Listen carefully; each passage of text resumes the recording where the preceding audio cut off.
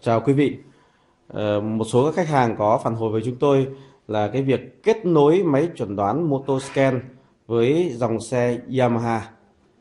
Ờ, với dòng xe này, đúng thực sự là nó có những khác so với việc kết nối với cái dòng xe khác. Nếu chúng ta thao tác không đúng, thì việc kết nối sẽ không thực hiện được.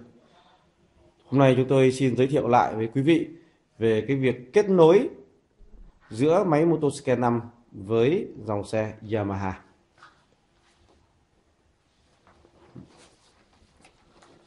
Đây là phần máy chính, chúng ta vẫn sử dụng thông thường giống như các máy khác. Đối với xe Yamaha thì việc kết nối dữ liệu giữa máy Motoscan với xe chỉ có một dây duy nhất là dây Calai và nguồn thì chúng ta sẽ lấy nguồn ngoài.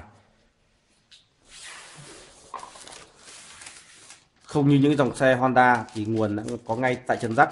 Còn đối với dòng xe Yamaha chúng ta cần phải có một cái cách nối theo hướng dẫn trên cái tài liệu. Còn hôm nay chúng tôi sẽ thao tác cụ thể để các ông chí có thể theo dõi.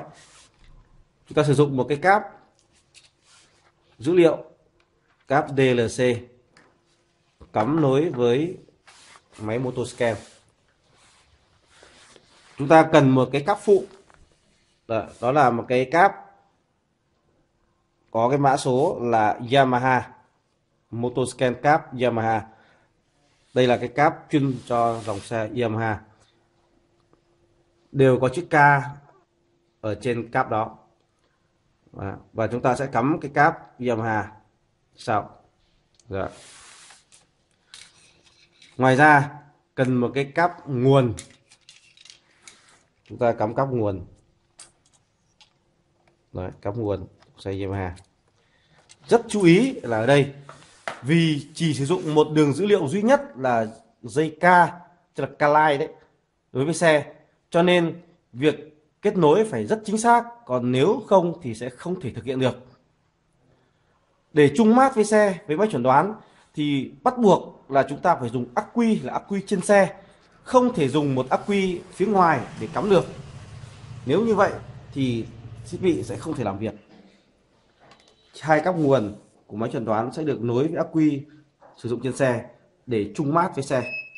Và chúng ta thấy hai tiếng tít tít, máy đã khởi động. Trên xe, vị trí cho cắm dây calai sẽ nằm ở bên sườn.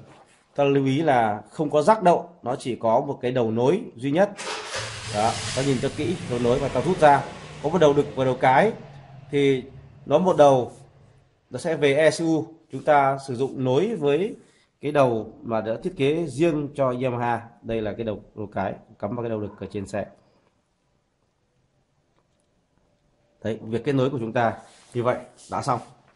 Và bây giờ chúng ta có thể sử dụng máy để đọc lỗi xóa lỗi, kích hoạt, kiểm tra hòa khí, hiệu chỉnh tiểu khí, vân vân.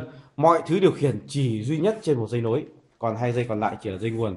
Rất nhiều trường hợp mà à, khách hàng khi sử dụng không đọc lỗi được có liên hệ lại với chúng tôi thì lỗi thông thường là các quý vị hay sử dụng nguồn ắc quy bên ngoài cho nên nó sẽ không thực hiện được. Chúng ta lưu ý điều này.